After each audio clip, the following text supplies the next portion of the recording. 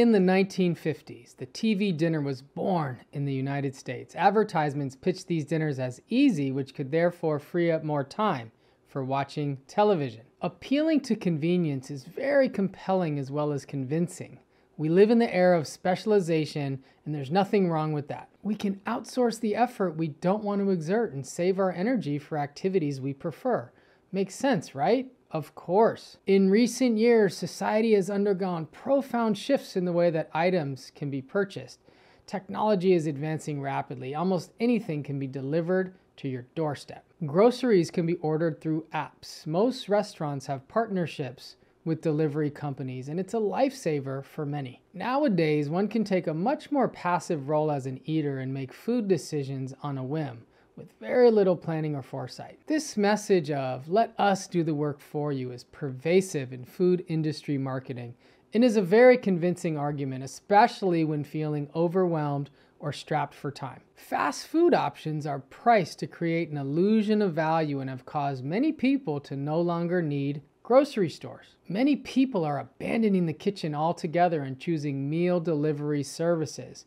We think this can be a part of the problem. Not for everyone, but for a growing number of people who feel disconnected from food.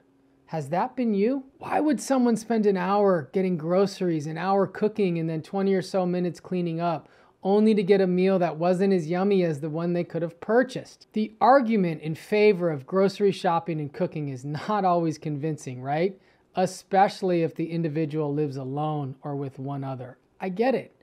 But get this many people have abandoned cooking. It is oftentimes these people that have a ruptured relationship to food and have a hard time breaking through health related barriers. Meanwhile, ratings for cooking shows and social media accounts displaying delicious food are at an all time high. One reason that restaurants and convenience foods are winning is because their food is engineered to elicit the highest possible dopamine response. Simply put, food created for commercial purposes are designed to be more palatable, which in turn means more profitable. In some cases, highly palatable foods can recruit addiction like processes in the brain. This may include feeling uncomfortably full and not wanting to stop eating, or feeling physically full but still feeling hungry. Hopefully, you're feeling more attuned to your hunger and fullness cues. This work you're doing is so important. Keep going. People who eat mostly restaurant food that's generally high in added oils, salts, and hidden sugars eventually stop enjoying food that doesn't meet this standard of palatability. And this is a real problem for today's youth. In other words, the more convenience food one eats, the less likely they are to enjoy more simple food preparations. And this is related to the concept of reward expectancy, modulated by the neurotransmitter dopamine. It has recently been suggested that reducing highly processed food expectancies may improve diet, which may broadly affect health. One way to do this is to plan and cook more of your meals at home. The good news is that food related tolerance doesn't take long to recalibrate. Your homemade meals might not taste as good as restaurant meals at first. But as you get better in the kitchen, you can start to taste your food more intensely without the added oil, salts, and sugar. I genuinely want that for you. We've developed a theory that the more people become disconnected from food, the more dysregulated their eating can become. We define disconnected as no longer being actively involved in the process and dysregulated as the loss of ability to successfully manage responses. Our ancestors used to hunt and forage and would always be planning their next meal. Too often, folks stop planning their meals and favor choosing what appeals in that moment. While there is something valuable about unpredictability and novelty around food, we're proposing that the no planning approach has contributed to hedonic eating. Disconnection from food is one factor in the rising prevalence of disordered eating. This can include overeating, undereating, confusion, and regret around food choices. At Wise Mind Nutrition, we're proposing that the value of shopping and cooking goes way beyond reclaiming ingredients. While it's undoubtedly true that cooking your own food creates more opportunity to use anti inflammatory foods and ingredients that are beneficial for mental health, the benefits also extend to our relationship to food. Our experience has been that connecting with food at the store, washing and cutting produce, and creating delicious meals at home is one component in healing a disordered relationship to food.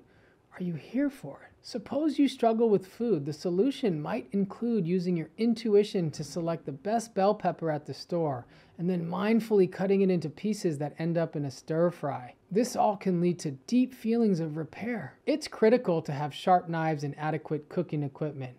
Learn more about the powerful principles of mise en place. Still, there are many barriers that can exist. There are lots of reasons that people cannot seem to connect with shopping and cooking. Examples include don't have adequate kitchen space or equipment, and don't know where to start. Sharing kitchen space with others and don't feel comfortable in that part of the house. Have had others feed you for so long and have never been expected to feed yourself.